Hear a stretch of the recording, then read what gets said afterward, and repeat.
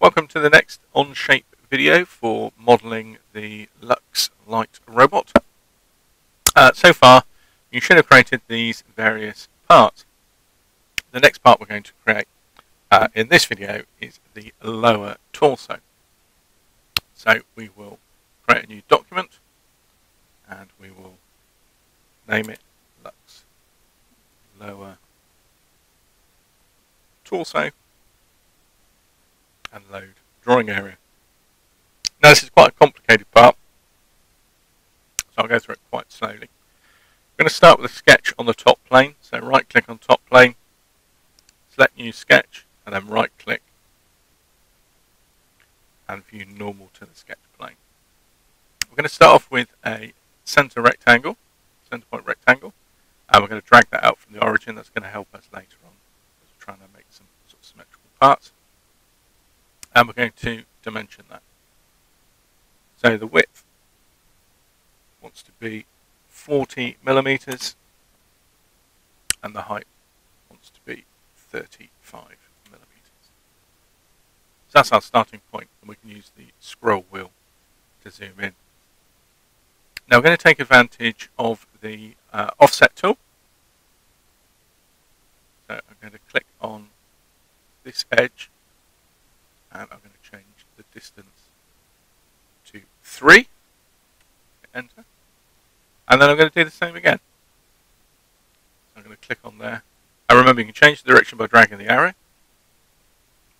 change that to 3, and I'm going to do that one final time.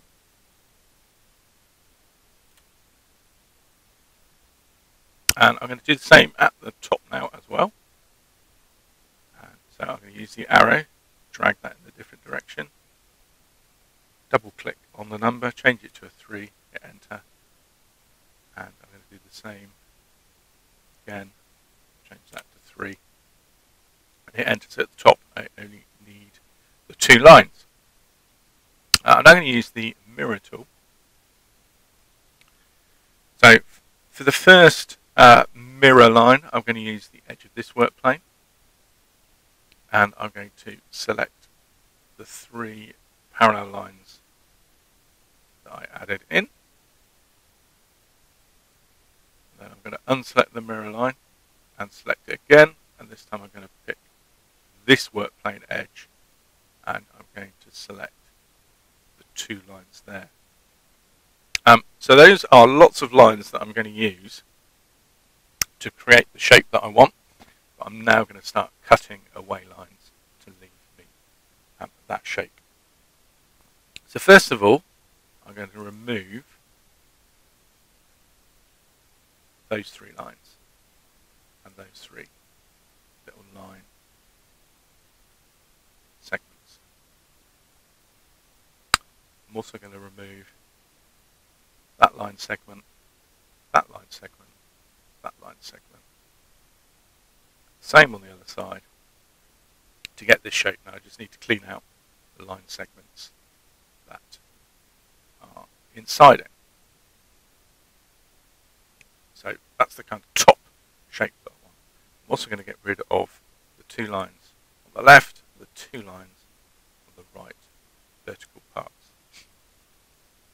Over here, I'm just going to take out the top lines and take out the middle line so I want these two little lugs, and then I'm going to clear out any other lines that would be breaking our golden rule of sketches of any ever having two lines coming away from any point.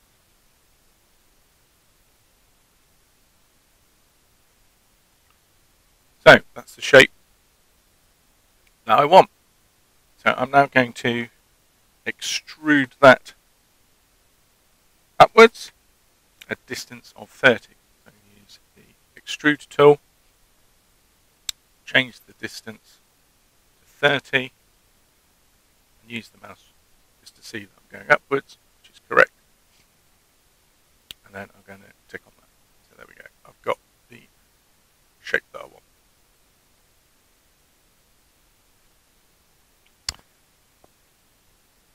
Next I'm going to build up onto that So I'm going to click on the top surface, right click, new sketch, and I'm going to right click and view normal to the sketch plane. First thing I'm going to do is get a corner rectangle, and I'm going to go from the top left corner, snapping to the bottom right corner. So I've got a big rectangle there. And I'm going to draw another corner rectangle. I'm going to line it up drag it across. And now I'm going to dimension that. So I want that to be 15 millimeters wide and 15 millimeters tall. And I want it to be 12 and a half millimeters in from the left or from the right. It will be symmetrical.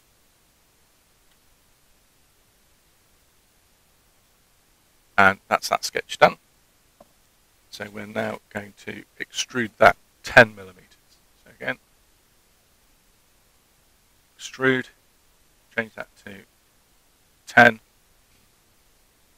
just check that that's gone upwards.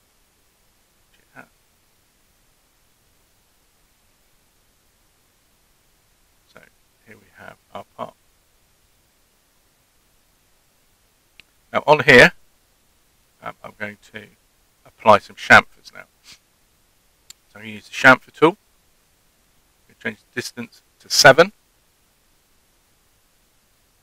And I'm going to click on the two side edges and the edge that's furthest away from the square hole. So that's the shape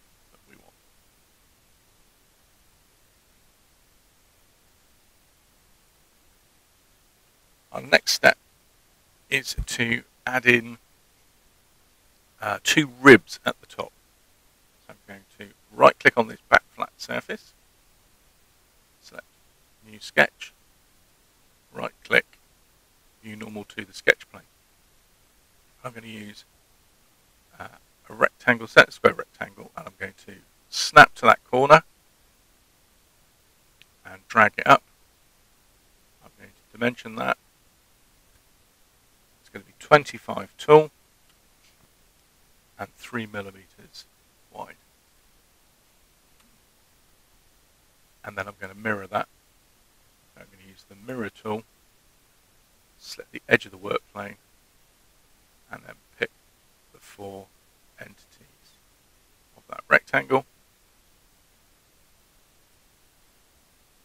And now I'm going to extrude those shapes spin that round. Now it's gone in the wrong direction, so change it in the right direction.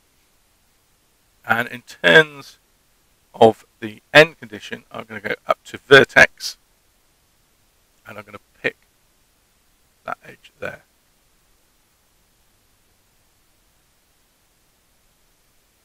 I didn't like me doing that. Okay, in that distance, in that case, uh, we'll change it to blind, and we'll make the distance 20 And that should be right. There we go, we've got those two edges. Next thing to do is to round off some corners.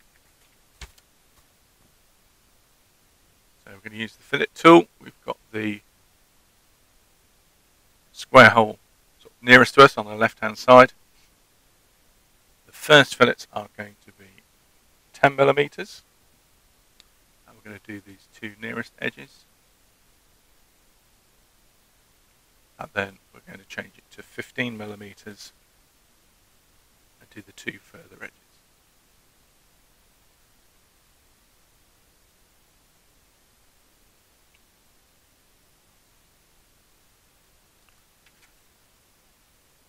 Now time to put some holes into that. So I'm going to spin that round using the right mouse button so it looks like this. And I'm going to click on this surface, right click, new sketch, and I'm going to draw two circles. Now this one, I'm going to try and line up. There we go, it's going to snap to the middle of that 10 mil radius. And this one, I want it to line up above the origin, which is why we chose our sketch position as we did right at the start. Dimension those both to 6 millimeters.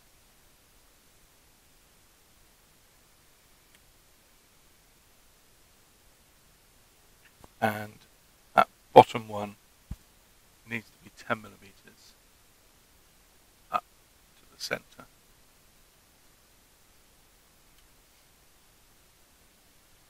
We're going to use the feature tool and we're going to remove material and we are going to go through all second end position. We're going to go through all. And in our merge scope we're also going to add part 1 on there. You'll see it's come up as different parts because of the way we've drawn it but we can combine those later. Click the tick and you should find that you've got holes going through both sides.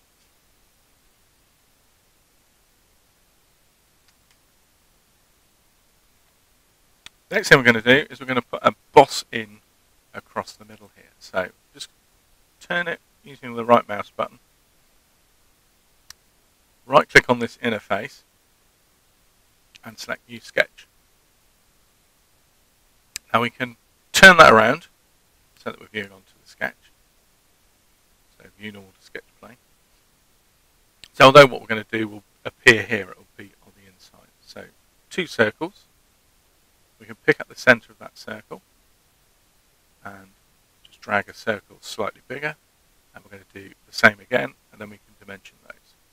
So the outer one wants to be 20 millimeters, which will match that radius of 10 and the inner one is going to be 6 millimeters in diameter, which will match the inner circle. And if I just spin that round, you can see the sketch on the plane. I want to see this face because we're going to use the extrude tool and this time we're going to go up to a face and we're going to pick that face and it's drawn that in. That looks like we might have picked the uh, Oh no, that looks okay. that's good. Just taking a while for the image to update.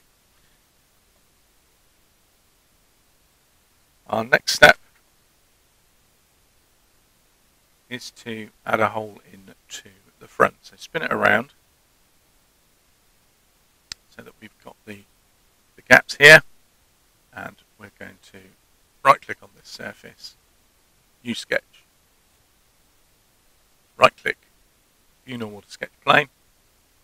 And we're going to use the center circle tool. Again, line it up with the origin so we know it's going to be central.